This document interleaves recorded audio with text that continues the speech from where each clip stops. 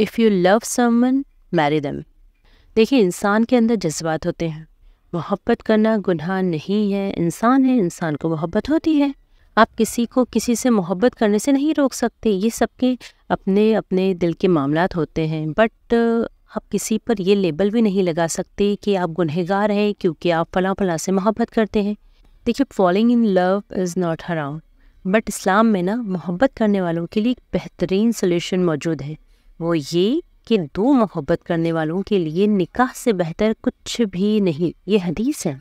जी हाँ मोहब्बत करना हराम नहीं है बट मोहब्बत का लेबल लगाकर हराम काम करना like dating talking in private और इससे आगे बढ़ना, यानी रिलेशनशिप वगैरह में आ जाना कि आपकी मोहब्बत को हराम बना देते हैं। फिर मोहब्बत पाक नहीं रहती। हराम love will never give you peace of mind देखिए, अगर किसी से मोहब्बत करते हैं तो फिर निकाह की नीयत भी रखें।